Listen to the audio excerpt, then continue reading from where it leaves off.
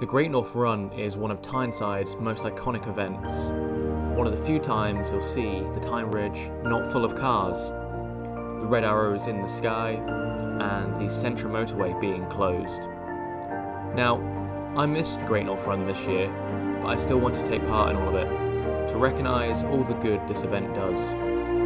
I also want to show how our urban environment looks when these roads aren't closed off for runners. Most of the time, the route of the Great North Run is not nice to run along, but I'm going to do it anyway and treat myself to a dip in the North Sea and a pint. So join me to see if I make it.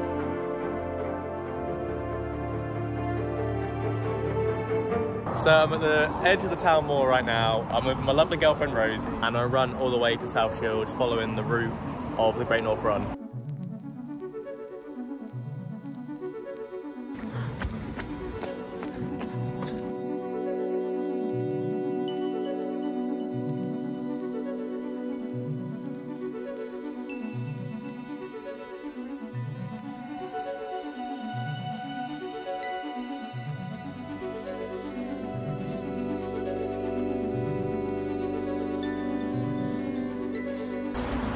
So I'm just across the uh, Bridge behind me. It's now officially in Gateshead and just waiting for the lights to change so we'll cross again. Heading towards the Gateshead flyover now. This whole area of town. It's absolutely horrible to run around. So it's coming past uh, Gateshead Stadium now. Still following this main road.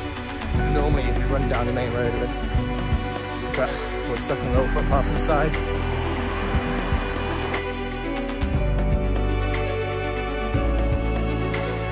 This part of the city is nothing but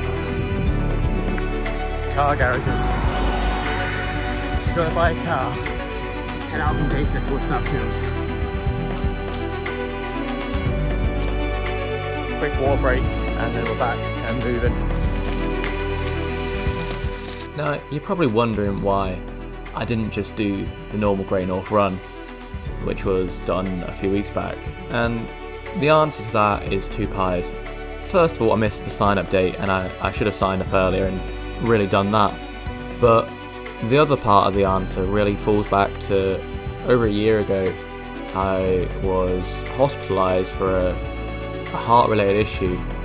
And whilst I was never a, a long distance runner before, I, I quite enjoyed running a fair bit and ever since then I, I really stopped running or anything in particular so the whole reason for this is to prove to myself really of what I can still achieve and that I'm not held back by anything.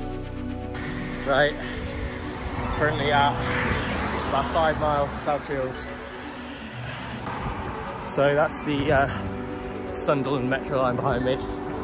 Still run alongside the steel carriageway so I've stopped here to use the facilities.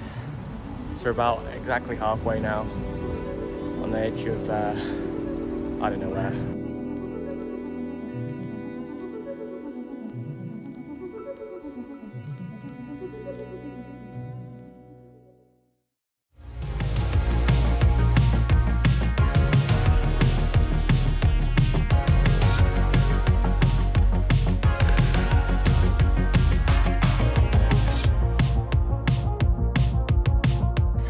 Back on the route. Had a quick restart. About uh, 6k to go, and I've made a wrong turn. But it's fine, we found a toilet. Nothing but uh, dual carriageways the whole way down. But yeah, still about 5k to go. This last section's gonna push, but you can finally see the sea dead ahead. Yeah, it's such a good sight. Right, I'm on the home straight now, right by the edge of the coast.